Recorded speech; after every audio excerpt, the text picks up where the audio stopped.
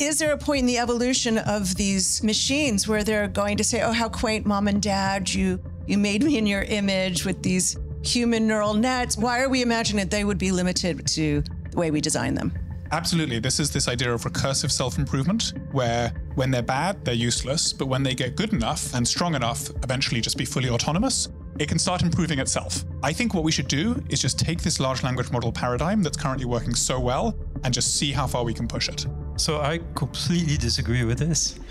So LLMs are not controllable. It's not dangerous because they're not that smart. They can be very intelligent without being autonomous, and you can be autonomous without without being intelligent. There's always what's called a generalization gap, which means you can never train them for every possible uh, question, and so they're not controllable.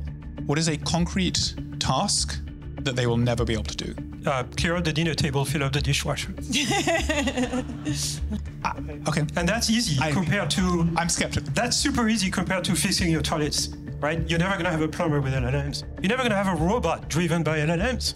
It just cannot understand the real world. It just can't. You're not saying that machines or robots won't be able to do this. That's not your position. You think they will. There's no question that at some point in the future, we will have machines that are smarter than humans in all domains. It will not be LLMs. It will not be generative models that predict discrete tokens. It will be models that learn abstract representations and make predictions on abstract representations and can reason about what is going to be the effect of me taking this action. Can I plan a sequence of actions to arrive at a particular goal?